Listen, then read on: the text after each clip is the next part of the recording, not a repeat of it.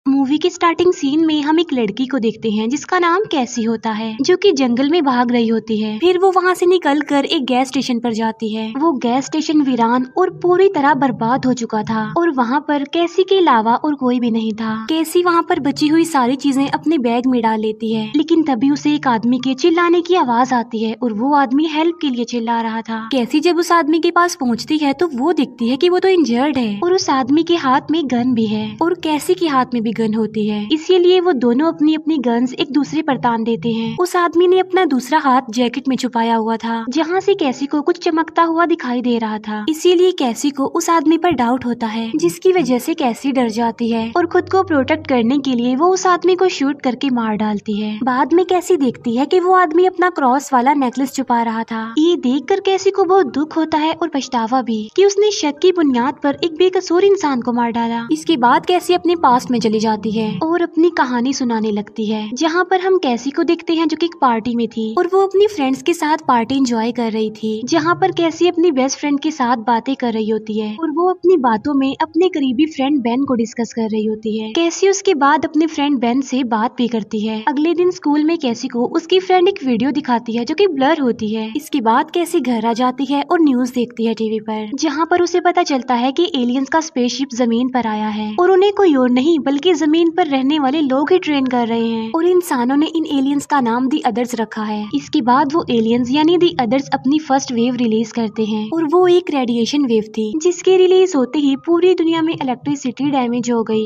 जहाँ पर गाड़ियाँ मोबाइल्स और हर इलेक्ट्रिक चीज़ ने काम करना छोड़ दिया। और ये चेंजिंग देख कर लोग बहुत ज़्यादा डर गए। इसीलिए उन्होंने ये जगह छोड़कर बड़े सिटीज़ की तरफ़ मूव कर लिया। फिर एक दिन कैसे और उसका भाई पानी भर रहे होते हैं कि तभी सेकंड वेव भी रिलीज़ हो जाती है। जिसमें उन एलियंस यानी दी अदर्स ने पूरी दुनिया के सिस्टम को चेंज कर दिया, जिसका साइड इफ़ेक्ट ये होता है कि अर्थक्वेक और समुद्री तूफ़ान।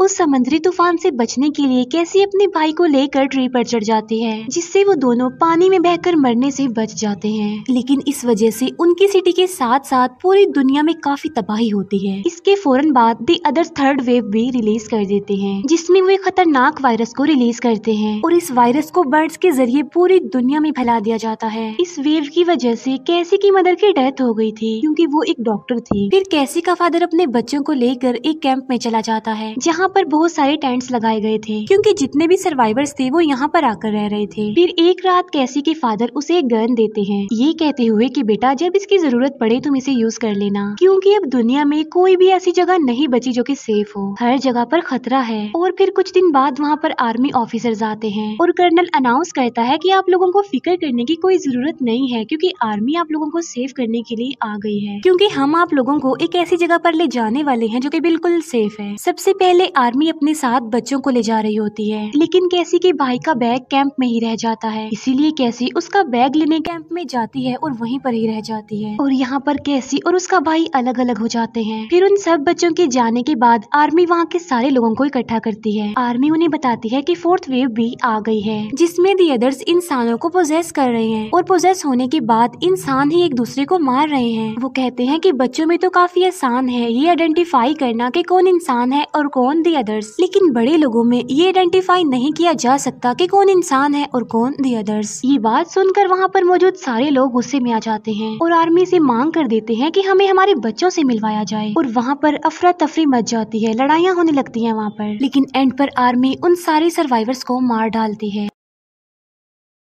कैसी भी ये सब कुछ देख लेती है। तब कैसी के फादर उसे कहते हैं कि बेटा यहाँ से भाग जाओ। और फिर जब आर्मी वहाँ से चली जाती है तब कैसी अपने फादर के पास आती है? और अपने फादर को मरा हुआ देखकर कैसी बहुत ज़्यादा दुखी हो जाती है। और अब वो ये बात डिसाइड करती है की चाहे जो भी हो जाए मैं अपने भाई को तो बचा कर रहूँगी। तभी वो वहाँ से गन लेती है और आर्मी यूनिट की तरफ़ भागती है। चलते चलते वो उस गैस स्टेशन के पास आ जाती है जहाँ पर वो मूवी के स्टार्ट में भी गई थी। फिर आर्मी हर जगह से बच्चों को कलेक्ट करके एक सेफ़ जगह पर ले जा रही थी। वो लोग सारे बच्चों को एक एक टोकन देते हैं। और बाद में उन बच्चों का चेकअप करने के लिए उन्हें अंदर भेजा जाता है। और तभी उन बच्चों में बारी आती है कैसी के फ्रेंड यानी बेन की। और जब बेन अंदर जाता है तो डॉक्टर उसे बताती है कि दी अदर्स इंसानों का रूप लेकर इंसानों पर ही अटैक कर रहे हैं। और इसीलिए आर्मी को उन सब बच्चों की ज़रूरत है ताकि वो दी अदर से लड़ने के लिए इन बच्चों को ट्रेन करें। ये सारी बातें बताकर डॉक्टर बेन के अंदर एक ट्रैकर इंजेक्ट कर देती है। और सेम ऐसा सारे बच्चों के साथ किया जाता है। हम कैसी को देखते देखते हैं जो कि अपने सफ़र में होती है। फिर वो जंगल से निकल कर रोड पर आ जाती है, जहाँ पर उसे कोई गोली मारकर इंजर्ट कर देता है, जिससे कैसे फ़ौरन बेहोश हो जाती है। आर्मी यूनिट में हम देखते हैं कि आर्मी बच्चों को ट्रेन कर रही होती है फिफ्थ वेव से लड़ने के लिए। केसी को वहाँ से इवान नाम का लड़का उठाकर अपने साथ ले जाता है, जो कैसी को मेडिसिन वगैरह देता है, और उस लड़के को कैसी का नाम भी पता था। वो इसलिए क्योंकि वो कैसी की डायरी पढ़ चुका था। फिर कैसी उस लड़के यानी इवान से अपने गन के बारे में पूछती है, जिस पर इवान कहता है कि, मैं तुम्हारी गन के बारे में कुछ नहीं जानता, मेरे पास नहीं है वो। इसके बाद कैसी इवान से आर्मी यूनिट का एड्रेस पूछती है। और वो ये कहती है कि वहाँ मैंने जाना है अपने भाई को बचाने के लिए। आर्मी यूनिट में हम देखते हैं कि कैसी का भाई बहन के ही ग्रुप में होता है। वो सब लोग वहाँ पर बैठे होते हैं कि तभी वहाँ पर डॉक्टर एक लड़की को लेकर आती है और उस लड़की को बेन की टीम में शामिल कर देती है, क्योंकि वो लड़की एक काफ़ी अच्छी शूटर थी। कैसी दिखती है कि इवान काम में बिज़ी है, इसीलिए वो उस घर को एक्सप्लोर करने के लिए इवान के रूम में जाती है। और वहाँ पर कैसी को अपनी गन मिल जाती है और इस वजह से कैसी डर जाती है। और फिर वो वहाँ से भाग ही रही होती है कि तभी इवान आकर उसे पकड़ लेता है। कैसी को इवान पर डाउट होता है कि शायद ये मुझे मार देगा। लेकिन असल में वो कैसी को दी अदर से प्रोटेक्ट कर रहा था। फिर इवान कैसी को घर ले आता है और उसे बताता है की मैंने तुम्हारी गन इसीलिए छुपाई थी की मुझे डर था की कहीं तुम मुझे शूट करके न मार डालो। और वो ये भी कहता है की शाम को मैं खुद तुम्हें आर्मी यूनिट ले जाऊँगा। फिर वो लोग आर्मी यूनिट के लिए निकल पड़ते हैं। रास्ते में इवान कैसी को ट्रेन भी करता है कि कैसे खुद को प्रोटेक्ट किया जाएगा। कर्नल बेन को कहता है कि मैं तुम्हें अपनी आर्मी के साथ एक मिशन पर भेज रहा हूँ। और वो बेन को एक हेलमेट भी दिखाता है। और बताता है कि ये हेलमेट स्पेशल दी अदर्स को आइडेंटिफाई करने के लिए बनाया गया है। और वो सारे लोग इस हेलमेट को पहनेंगे। और जब दी अदर्स इनके सामने आएँगे तो लाइट ग्रीन हो जाएगी। हम देखते हैं कि कैसी और इवान एक दूसरे के साथ घुल मिल गए थे। जबकि बेन को आर्मी के बजाय बच्चों की टीम के साथ भेज दिया जाता है मिशन के लिए। लेकिन बेन कैसी के भाई को वहीं पर छोड़ जाता है। क्योंकि कैसी का भाई एज में काफ़ी छोटा था। फिर वो लोग अपने टारगेट पर पहुँच जाते हैं और वो दिखते हैं कि दी अदर्स हेलमेट की मदद से सच में ग्रीन नज़र आ रहे हैं और यहाँ पर बच्चों और दी अदर्स की ज़बरदस्त फाइट होती है। इसी लड़ाई में एक बच्चे की मौत भी हो जाती है। दी अदर्स को डिस्ट्रैक्ट करने के लिए वो शूटर एक बस को ब्लास्ट कर देती है, जबकि बाकी लोग एक जगह पर जाकर छुप जाते हैं। फिर वो शूटर जब अपनी टीम के पास पहुँचती है तो वो अपना ट्रैकर निकाल देती है, जिससे अचानक वो भी सबको ग्रीन नज़र आ रही थी। ये देख बेन को सारी बात समझ आ जाती है और वो भी अपना ट्रैकर निकाल देता है। ट्रैकर निकालने पर वो भी सबको ग्रीन ही नज़र आ रहा था। और बेन यहाँ पर आर्मी की सारी चाल समझ चुका था। वो सबको समझाने की कोशिश करता है कि ये हमारे लिए एक ट्रैप है, जिसमें दी अदर्स हमें फंसाना चाह रहे हैं। और फिफ्थ वेव कोई और नहीं, बल्कि हम बच्चे हैं। और हमारा इस्तेमाल दी अदर्स कर रहे हैं, बचे हुए इंसानों को मारने के लिए। और इसीलिए उन्होंने ट्रेनिंग देने के लिए बच्चों को ही चुना। क्योंकि बड़ों की निस्बत बच्चों को चेंज करना आसान है।